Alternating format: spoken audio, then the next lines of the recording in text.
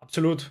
Also ich wollte mich ge gerade als so ein bisschen als Überleitung die Überlegung reinbringen, wie das mit, mit konkret Teammanagement und Teambuilding Sachen zusammenhängt, weil ähm, denk dran, wie, wie, wie wir das oft äh, gehandhabt haben, wie wir eben noch im Sport waren, wo ja natürlich einem Amateursport äh, üblich, die, die Anwesenheit hat äh, stark fluktuiert teilweise, aber da ist natürlich auch immer die Frage gewesen, ist es notwendig, separate Teambuilding-Einheiten sozusagen zu machen oder ist implizit mit einem gut strukturierten Training, mit gut strukturierten Kommunikationsstrukturen, dann mit äh, guten Trainings, die vermutlich zum Erfolg dann auch führen können.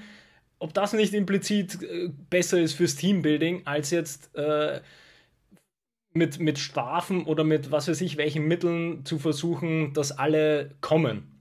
Ja, oder dass alle anwesend sind. Und oder dann externe Einheiten reinzubringen, nur damit man das Teamgefüge sozusagen verbessert und eine Teambuilding-Aktion macht.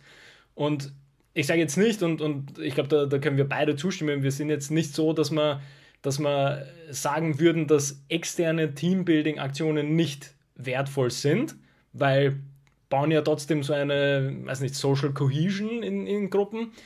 Aber das muss halt trotzdem als äh, ja, dritten oder vierten Prioritätspunkt gesehen werden. Und das Teambuilding und Teamgefüge passiert, also sollte erstmal durch, das, äh, durch die Teamarbeit selbst gemacht werden und nicht durch externe Aktivitäten. Also das war zumindest immer so ein bisschen meine Perspektive.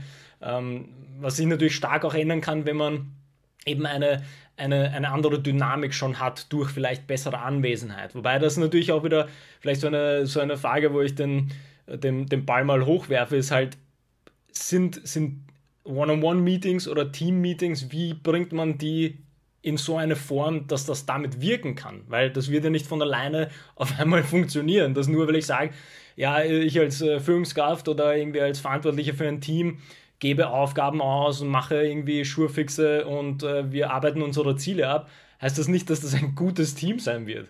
Also das, das, das muss man auch wieder stark unterscheiden, dass das nicht äh, immer automatisch und implizit zum Erfolg führt, nur weil man möglicherweise Glück hat und, äh, und, und gute, gut arbeitende Menschen in seinem Team hat. Also da, da, da sind quasi so kleine äh, Stellen drin, an denen man schrauben könnte, wo das Ganze dann wieder massiv in eine andere Richtung geht. Also das finde ich eigentlich eine ganz interessante Frage.